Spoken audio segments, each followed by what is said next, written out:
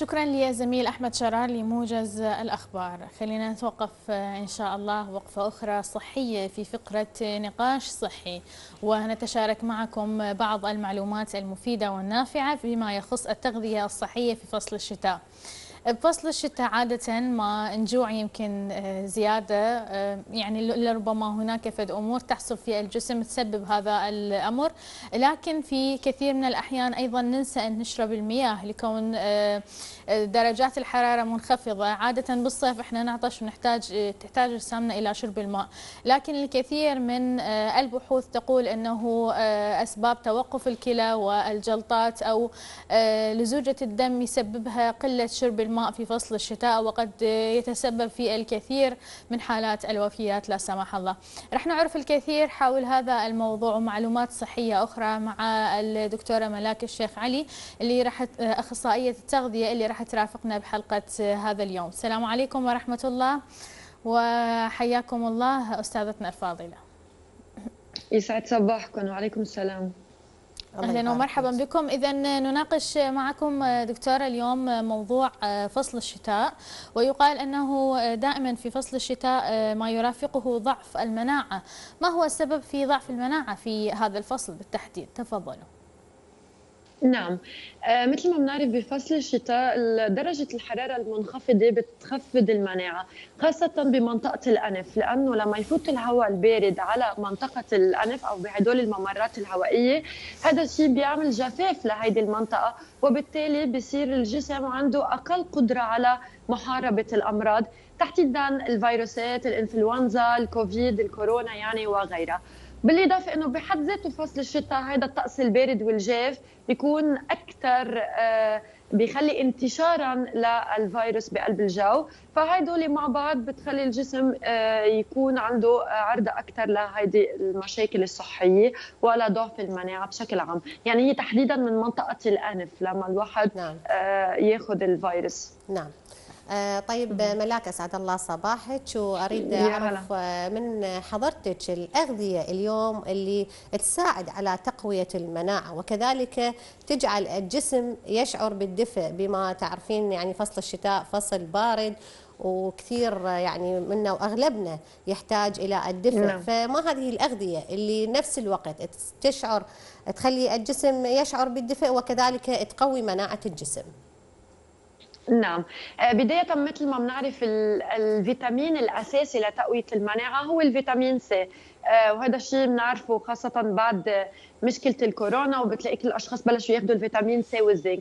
يعني هدول أهم فيتامينات الواحد لازم ياخذهم هلأ وين بنلاقيهم؟ بنلاقيهم بالحمضيات أكثر شيء يعني بالليمون بالجريب فروت بنلاقيهم حتى بالتوت توت البري بالفراولة. الكيوي جدا غنية بالفيتامين C وغيرها حتى الطماطم كمان غنية بالفيتامين C. هذا بداية كفيتامين C. الزنك مثلا بنلاقيه أكثر شيء بالمكسرات بنلاقيه بالقمح الكامل آه، بالبذور. ماده الزنك لازم ناخذ كمان بروتين لازم ناخذ حديد كمان هدول كمان جدا بقووا الجهاز المناعة اللي موجودة باللحوم بالسمك بالمكسرات كمان بنلاقي البروتين بالبقوليات كمان جدا مهم. الحساء أو الشوربة هيدي مفيدة جدا لأنه منه بتدفي الجسم بتعطي هذا الدفء اللي نحن بحاجته بفصل الشتاء. وبذات الوقت بنكون عم ناخذ نحن الفيتامينات الأساسية خاصة إذا ما نحكي عن الشوربة الخضار اللي هي الأساسية اللي بقلبها الفيتامين سي ومتنوعة. وأيضا إذا ما ناخذ عن العدس اللي هي شوربه العدس كمان جدا قوية وبتقوي المناعة. آه هدول عادة كل شيء الفيتامينات. حتى كمان في شغلة العسل بتلاقوا الأدوية خاصة للأطفال آه, آه، مصنوعة من العسل لأنه العسل جدا مفيد ومهم وبيقوي مناعة الإنسان. يعني فعليا بنلاقي عن جد يعني تغذية آه كثير كبيرة بتقوي المناعة. فدائما نحن نعتمد خلينا على الغذاء الصحي هو اللي بيقوي مناعة الإنسان إن كان بفصل الشتاء ولا غير فصل الشتاء. نعم أحسنتم. طيب حتى نضمن التغذية السليمة في فصل الشتاء النصائح اللي توصين بها جميع المشاهدين كل من يسمعنا. نعم. آه، نحن مش بس لازم نحن نعتمد على الأغذية الصحية لازم كمان نضلنا محافظين على ترتيب الجسم. يعني مثل ما حضرتكم تفضلتوا وقلتوا إنه آه، بفصل الشتاء الواحد يمكن ما بياخذ سوائل ما بيشرب مي. فنحن كرمال هيك لازم كثير ننتبه إنه يضل جسم رطب لأنه السوائل هي كمان بتعطي مناعة للجسم فينا مش بس بالمي يعني ما دائما المي هو نعتمده لأنه يمكن الواحد باردة بتضل المي فعشان هيك الواحد ما بحب كثير يشرب مي. خلينا نعتمد على السوائل الدافية مثل خاصة مثل أعطيكم مثل الزنجبيل جدا مشروب الزنجبيل بيقوي المناعة وبذات الوقت بيدفي الجسم. آه، فينا حتى هلأ في عشبه جديده اللي اسمها الماتشا كمان بقلبها المضادات الأكسدة كمان اللي بتقوي المناعة. الحليب إذا فينا نعتمد الحليب فقط العشبة العشبة يا حبذا تذكريها مرة أخرى. الماتشا اسمها ماتشا. يعني ما تجيك لونها خضر يعني هاي العشبه هي اسمها متداول في جميع البلدان العربية ام لها غير اسم يعني نعم. تسمية. مي بال... نعم. آه لا هي اسمها ماتشا فعلي آه هيك. هلا عن جديد صارت آه, آه، متداولة. مش بس هي بتقوي المناعة كمان بتضعف وبتساعد على على الضعف آه كمان موجودة يعني. بفضل إنه اللي هي المتة المتة المتعارف عليها. لا مش متة اسمها ماتشا. ماتشا نعم. ماتشا نعم, نعم. تجي لونها أخضر مش مثل المتة نعم. نعم. المتة كمان جدا على فكرة مفيدة وبتقوي أه. المناعة كمان المتة آه والحليب حتى إذا بدنا نشرب الحليب الكاكاو مثلا يكون مدعم بالفيتامين D لأنه الفيتامين D كمان بيقوي المناعة هذه بشكل عام عن السوائل كمان لازم نعتمد نخفف ال stress لأنه ال stress بيضاعف المناعة وهذه كمان كثير حلو صحيح. النفسية كمان كيف بتلعب دور صحيح. فكمان نحن بفصل الشتاء بحاجة تكون مناعتنا قوية خلينا نخفف شوي ال stress النوم الكافي كمان خلينا ننام 8 ساعات ساعات كافيين آه كمان هيدي من ضمن الأشياء اللي بت بت بتقوي المناعة. حتى ممارسة الرياضة ويضلوا نحن عندنا هيدي اللياقة البدنية كمان بتساعد على تقوية المناعة. مثل ما بتعرفوا كمان بالشتاء الواحد ما له خلق يقوم يعمل رياضة. فلا خلينا كمان نضلنا بهيدي اللياقة البدنية. كرمال نقوي آه، مناعتنا. احسن أحسنتي الله يبارك فيك. يعني اليوم الأمور كثير. حضرتك سلطتي الضوء عليها لتقوية المناعة سواء بالتغذية السليمة أو أيضا من خلال شرب السوائل اللي بها فوائد للجسم.